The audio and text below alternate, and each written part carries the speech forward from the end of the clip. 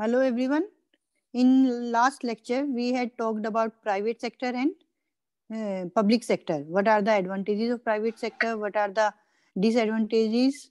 What are the, you know, the um, positive side and the negative sides? Today we'll be talking about the topic privatization. What do you mean by privatization? This is nothing but the transfer of ownership and control of an existing public sector or activity to the private sector. That means if something is controlled, managed, owned by a public sector, it gets transferred to a public uh, to a private individual, or it, when it goes in the hands of the private businessman, then that process is known as privatization. It can be complete whole privatization, or it can be done in parts. When full privatization means the whole public sector unit gets converted into private unit. That's your full. And sometimes what do they do? Some public sector undertakings are there. They don't sell it full. Instead of selling it full they sell just some part of it. Okay? So they just some stake of it is sold to the private individuals. So it can take place in a full form also or in a partial form also. Right? So and it might be selective as well. Select in the sense only some functions can be transformed to the private sector. Others are always maintained with the public sector. so why this privatization? When did it start? How did it start? And why did it start? This moment was, it started after 1970s when they had started realizing the need of privatization. The reason being the government was very conservative in principle when it comes to industrial countries. And ours was, India was a closed economy so it was keeping it you know everything uh, in hand. Nothing not even a paper could be signed without the permission of government. So things were so conservative. So that way it wasn't working efficiently. So then the multinational entities so the especially the push was given after this lpg new industrial policy.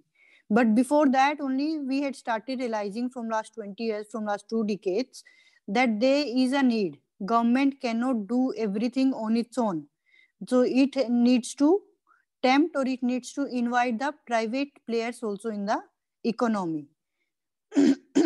Then there are some other reasons for privatization like crippling budget deficit.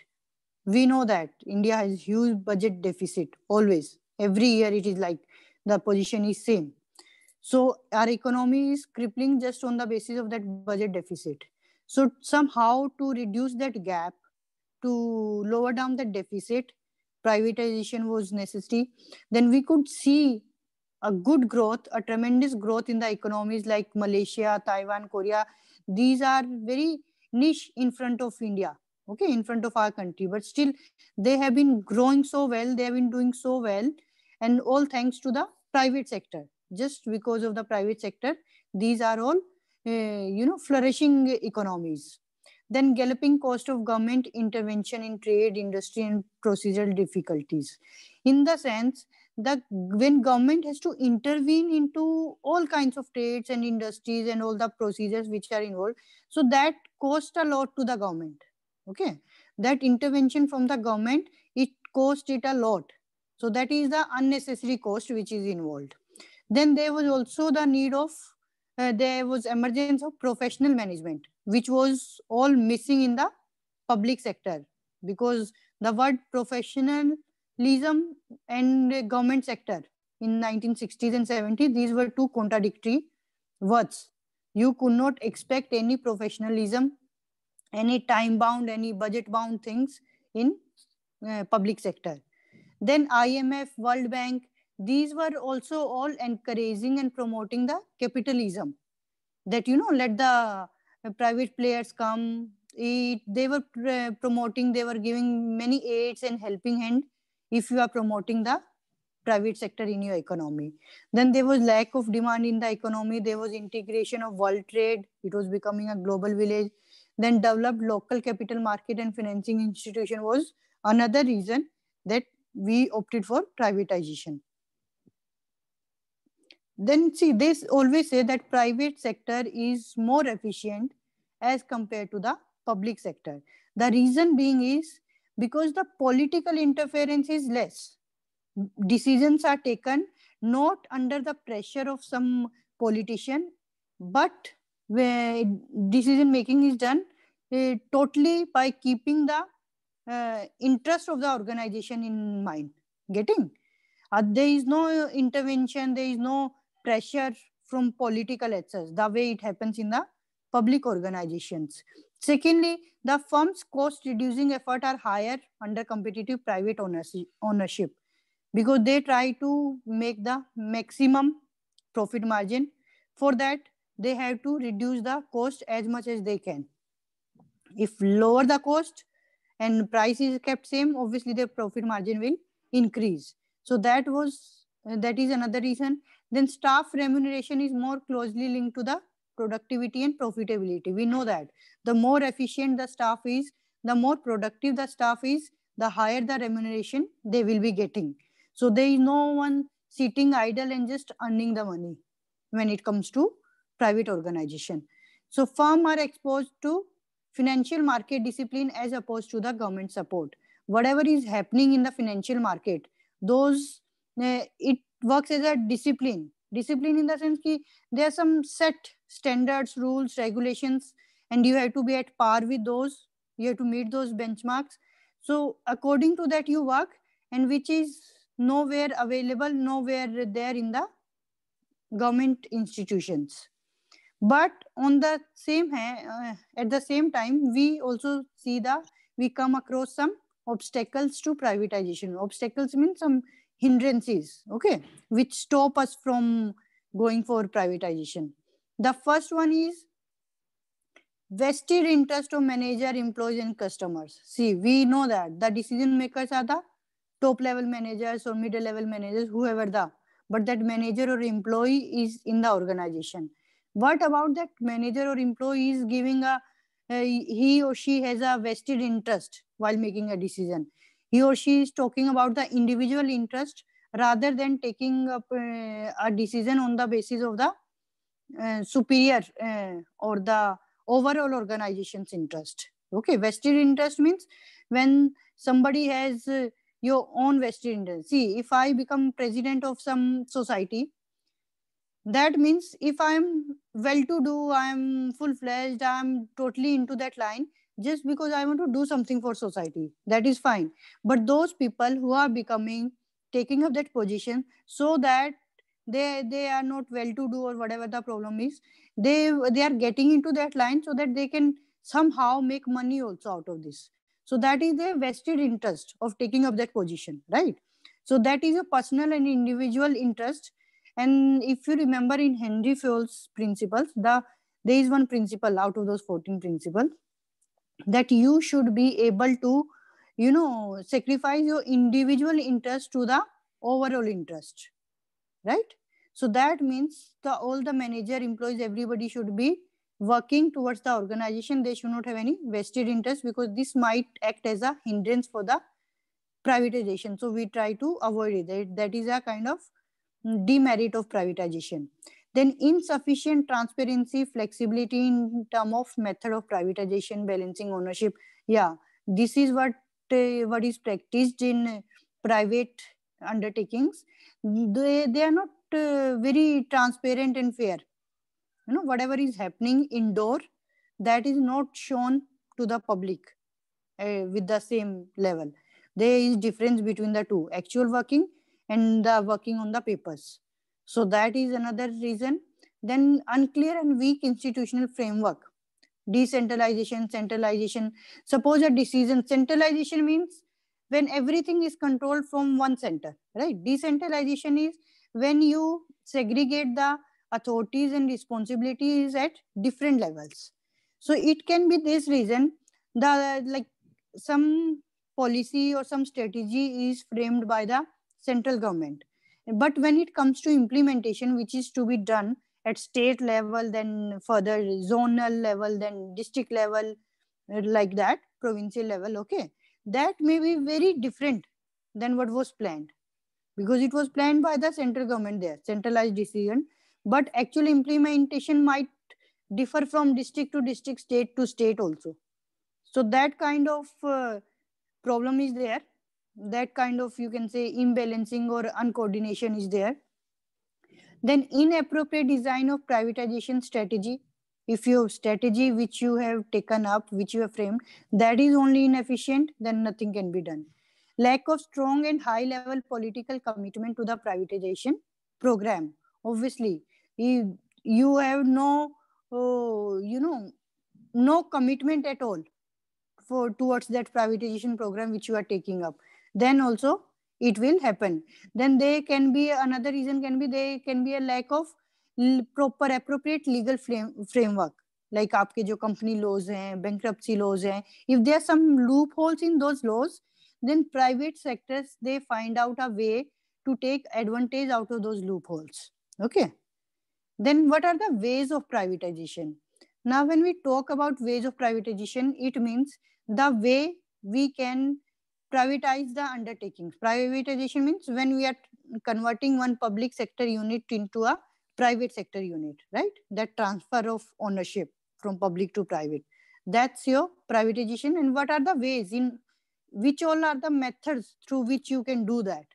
First is disinvestment. Now, disinvestment is nothing. It is basically taking out the money from the public sector and putting it into the giving it to the private sector. Now, how it can be done? See, there suppose some public sector unit is not performing well. It is a long-term strategic decision, disinvestment. It doesn't just happen that way. There is a proper procedure followed.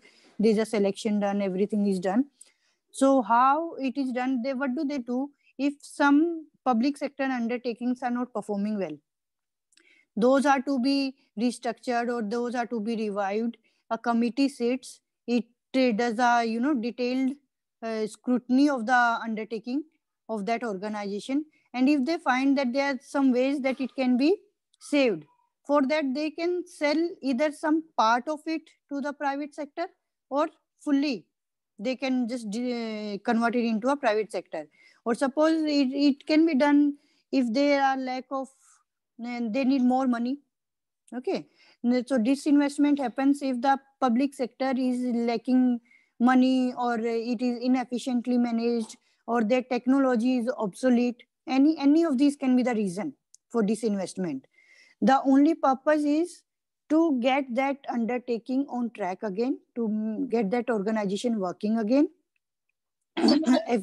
efficiently.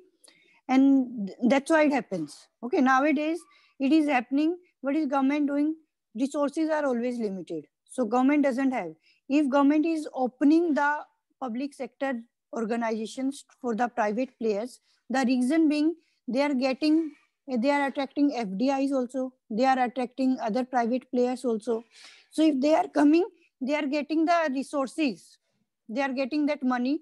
The resources which the public sector is getting now that can be used further for your education purpose for your infrastructure development for your other you know medical and health purposes which will help in increasing the or uh, you know improving the gdp disinvestment then contracting. Contracting means when you ask private sector to come in a contract with you for 2 years 3 years 4 years okay? That is basically a project based it's not uh, involving them into one particular undertaking or in one particular organization. It is generally a pro project the project public project which is there. Uh, private players are also given the contract for that. They are like you know tenders and all. The that is a kind of contracting. Franchising we have franchising we have leasing. See now franchising and leasing more or less these are same but there is difference what happens in franchising? First of all franchising falls under securities law okay? And leasing falls under contract law.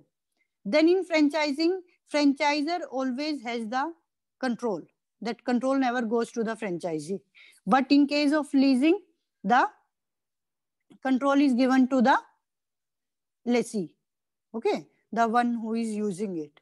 In fact the logos your McD's, your Domino's, Dunkin' Donuts, these are all franchise that logo stays with the owner it never goes to the franchisee but they will be just using it But in case of leasing, even these logos and all these can be given to them. Then inviting liquidation. Liquidation means totally dissolving the undertaking. You know, when you are selling off all the assets and everything, totally declaring it, taking out the cash out of it. And then further that cash can be used and it can be just sold off if some somebody is interested in buying that. So that would be just like uh, if uh, I am being an individual, I'm interested in buying. They are just taking out all the money they can by selling the assets and all the things related to that undertaking. Government will keep that and they'll just sell me off that so and so this is there. Okay. And then if it is open, any individual can go and buy. It has nothing left with the uh, government. But in case of disinvestment, even if totally it is sold to a private sector to a private player still government has the right to, to keep a hold of it or to intervene in the working of the organization. Then permitting private sector enter into psu reserved areas.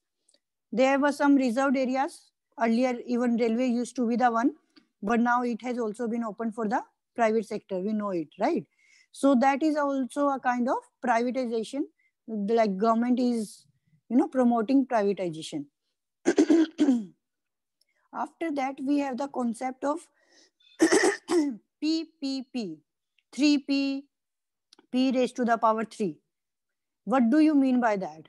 It simply means it is an arrangement between a government or any statutory entity for that matter or government owned entity on one side and the private sector or private person or provisions of public asset on another side this this is basically in simple words if i tell you when public and private sector come together and do a project that is your ppp arrangement. That is your p3 model.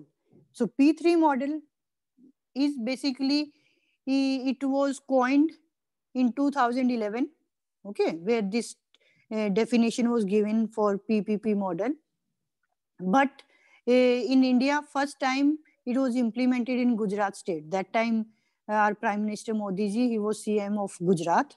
So he started there and it was a successful model which was implemented. After that, it has been, it's not that first time it was implemented there, but in the sense ki the successful example was set up there. Okay, this way things can work out. After that, it has been used a, everywhere and, uh, you know, in all the corners of the country. So when what happens, we have some advantages from private sector, we have some advantages of public sector. So this model tries to make best of these two. Okay, it tries to pull all the merits from both the sides so that their disadvantages can be neglected. So it is basically agreement between government and the private sector for the provision of a public good and service by the latter. It involves private financing, construction, management of key infrastructure. See, the reason being is when things are happening, so this e-governance, electronic governance, everything, it involves lots of abundance of technical and financial resources. So not necessarily that government would be well versed with the technology also and well versed with your all financial resources also, right? So out of that, the solution for this comes out as PPP. So that with, if public, if government has the enough funds, then it can use the skills and it can use the te technology from the private sector. Or if it has the technology, then it can always uh, use the additional funds from the private sector. Then PPP in, in government, the private partner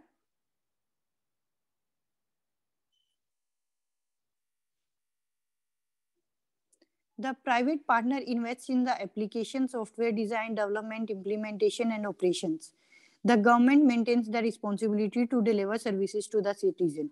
Basically, this PPP model is developed or it is used when some projects are to be taken which will be catering to the needs of the common man, to the normal public. Okay. The reason being government enters into it is so that government can complete it uh, timely, efficiently, and uh, in a you know proper manner. and go, uh, private sector enters into it the reason being they get to uh, you know they get a it paves a way for them to enter into a government sector which otherwise was not open for them. So what are the success factors like which factors will decide the success of ppp models? Political will we know that. If politically a government wants it to work only then it will work. If they are not willing to work they can put a halt on it anytime they want. Then if the project addresses a real need. Of course if there is a need of some uh, uh, you know sanitation system or sewage system in one particular area that is a real need right? Only then if a project just you know for luxury or just uh, actually the need is not there but it is just taken up to give benefit to some private sector then it doesn't fulfill the purpose. Then clear definition of the scope roles risk and obligation should be there legal framework should be clear. Consultation with the stakeholders. Whoever the parties are involved in it those should be consulted from time to time. Then tra transparent selection procedure things should be kept transparent and open. Security and privacy should also be taken care of. Then features of ppp these P3 are concerned with services, not with assets, because these models are taken up, as I told you, only when the um, some uh, facilities are to be provided to the citizens. The government doesn't need to own infrastructure to deliver services. Okay. So what government does? It doesn't want that infrastructure. It just wants for the time being that private sector builds it for it and makes it available on which they can work private partner investing public infrastructure and providing related services to the government, government retaining responsibility for the delivery of core processes and services. They prepare the infrastructure. Take an example of highway. Highways are the best example of PPP models. Be it any highway, even this uh, Rohtak Hisar highway, the four laning of this highway, this is also under PPP model. Okay, so they build the highways, they put the tolls, they collect the tolls, and once there it is recovery is done then after that the revenue starts going to the government. Before that they do. One way. That government says okay you prepare the infrastructure you make it available to the public as soon as possible. And after that you can start collecting your revenue from toll. Okay. And the other way is government just pays it off to the private party. And then whatever revenues are generated those go into the government's hands then government and private party working together for achieving certain standards. Rest will continue in the next class. Any questions or queries from today's class? You can ask now.